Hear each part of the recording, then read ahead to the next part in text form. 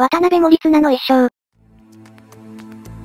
1542年に三河、松平氏の家臣、渡辺高綱の長男として生まれる。父は代々松平氏に仕える家系であった。後に主となる松平武千代、後の徳川家康とは同い年である。16歳で家康に仕え17歳で初陣し、21歳で三河八幡で奮戦する。するが、今川氏の家臣、板倉重貞に敗れたが、槍の扱いが得意であった森綱はしんがりを務めて奮戦。その戦いぶりから、槍半蔵の異名で知られるようになる。鬼半蔵の異名で知られる服部正成、通称、服部半蔵と並び称された。しかし翌年に家康と敵対する、三河一向一揆、熱心な一向宗門徒であった森綱は、同じく家臣であった八谷貞次らと共に家康に背く。しかし翌年には鎮圧され、森綱は家康に許されて再び家臣となる。以降は家康の下で起きた数々の戦いに参加し戦功を挙げる。姉川の戦い、三方ヶ原の戦い、長篠の戦い、小牧、長久手の戦い、姉川では一番槍を上げ、以降は先方で活躍、長篠では山本勘助を討ち取る。49歳には武蔵式3000石が与えられ、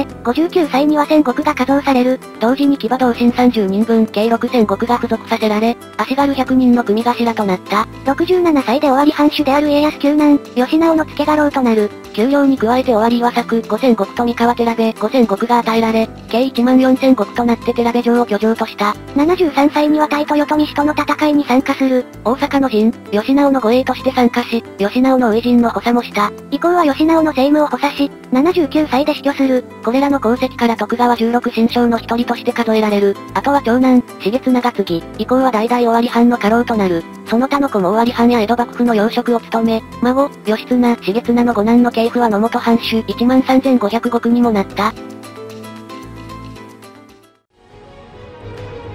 最後までご視聴ありがとうございました。よかったらコメント、高評価、チャンネル登録をお願いします。それではまた次回。